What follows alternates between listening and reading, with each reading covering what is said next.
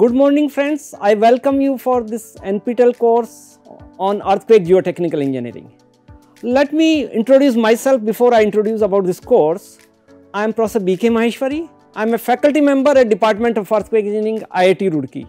My journey for earthquake geotechnical engineering started when I joined as a master student department uh, of uh, in, as a master in soil dynamics.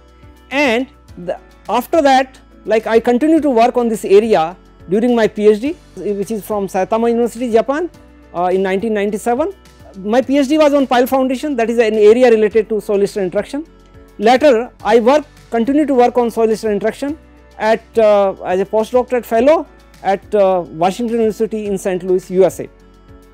Finally, I joined uh, this Department of Earthquake Engineering as a faculty member in 2004. Now, what we are going to talk about in this course, before let us understand why this course is important.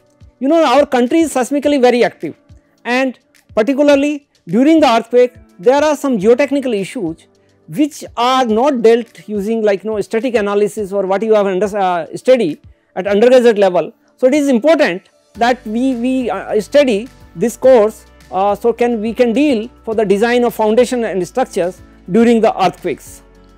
Uh, the proposed syllabus on this subject is very comprehensive and uh, it will be the, the, the, students which is pursuing BE, BTech or civil engineering or ME, MTech or PhD in geotechnical engineering or structure engineering can be part of this course. This course will go very long way. The faculty members teaching these students and practicing engineers dealing with geotechnical issues during earthquakes are the target audience for this course.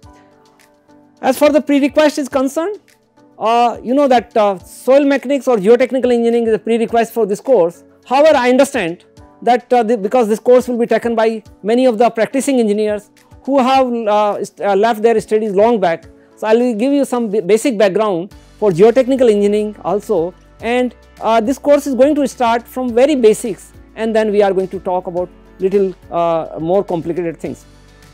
As far the course contents are concerned, First of all, it is uh, as I mentioned it is a very uh, like uh, uh, comprehensive course and what we are going to do, in this course we are going to apply the principle of earthquake engineering to soil mechanics and geotechnical engineering. So, first of all we are going to discuss what are the damages due uh, geotechnical uh, damages during the past earthquakes. So, you will see some examples and we are going to talk about the different geohazards including liquefactions and then landslides and tsunami also. Then in, in, this course we are going to talk about little bit of what is earthquake engineering, seismology, wave propagation, strong ground motion and uh, different types of damping. Two most important topic uh, which is first on dynamic soil properties and the second one is on liquefaction. This will be covered during this course in very much detail. The course will also cover uh, ground response analysis and local site effects. Then we are also going because particularly in the hilly areas for the landslide slope stability is important.